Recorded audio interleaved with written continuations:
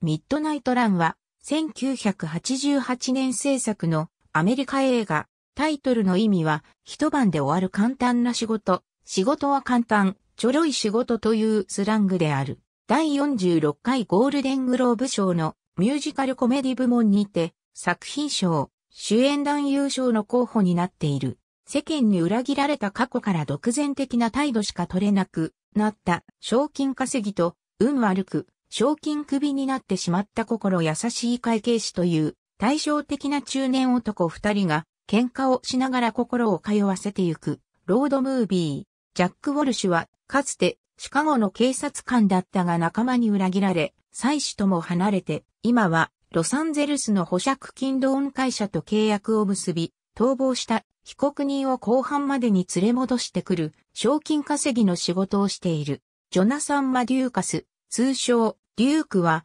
仇の会計士だが、雇い主がシカゴの麻薬王であるセラノであることを知りギャングの金を横領、事前事業に寄付をして、身を隠すが丁寧に挨拶状をセラノに送りつける、変わり者。裁判までの5日間で、マデューカスをロサンゼルスへ連れ戻す仕事を引き受けたウォルシュはニューヨークで捕まえたデュークを飛行場まで引き立てていく。しかし、ロサンゼルスまで5時間のフライトで済むはずが、トラブル続きでギャングと FBI に追われながら、車と列車のアメリカ横断逃避業へ変わっていく。制作、グロービジョン、演出、左近上陽、翻訳、ぬかたやえこ、効果、伊海和彦、ボックス、調整、高橋久義、プロデューサー、伊賀谷刑事こちらのバージョンは、吹き替えファンの間でも極めて評価が高く、吹き替え映画史上最高傑作と評されることもある。権利元が音源を紛失してしまったため長らく、